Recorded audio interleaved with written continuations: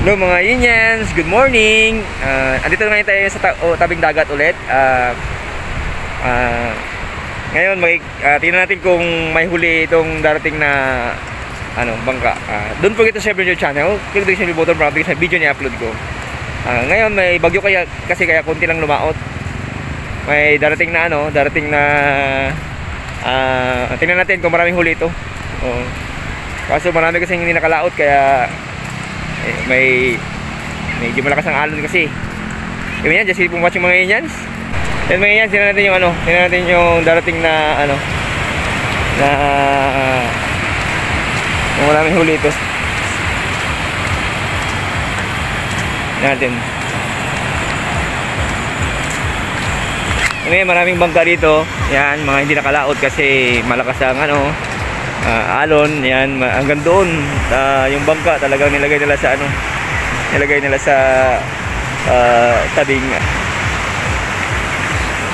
And ngayon yan di yan yung ano may huli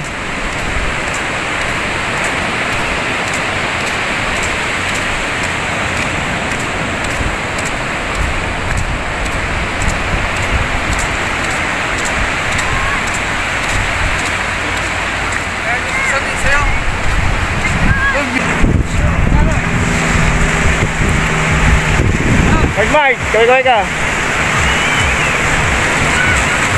Wah! Ben, maray huli Ben! Ben!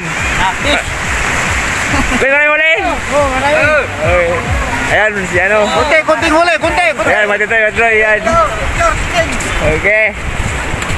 Yun, maklakas. Grabe.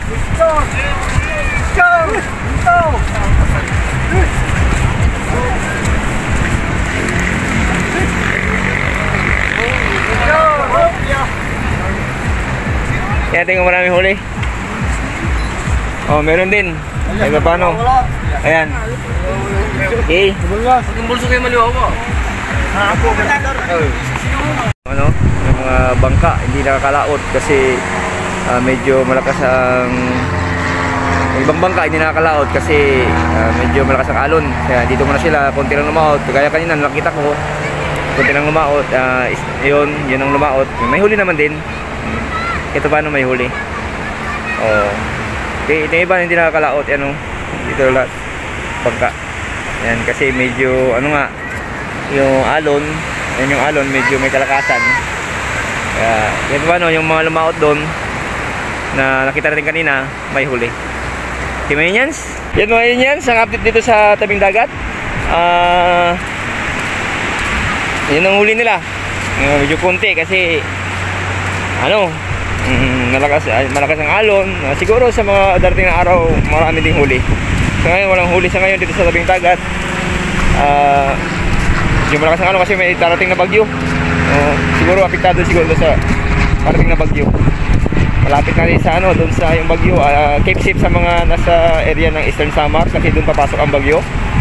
Uh, papunta tawid ng Visayas.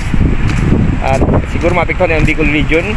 Dito sa Pangasinan siguro meron din kahit paanong ma ano kahit paanong apektado. Kasi yung alon dito medyo medyo may kalaka, may kunting lakas din kaya kunti lang lumaot. Kaya sa mga anong ah, ready kayo mag ready kayo sa mga mapikon sa bagyo ready kayo at pray lang panalangin lang. Okay? Keep safe everyone and more power sana sa buti kayo kalagayan and God bless you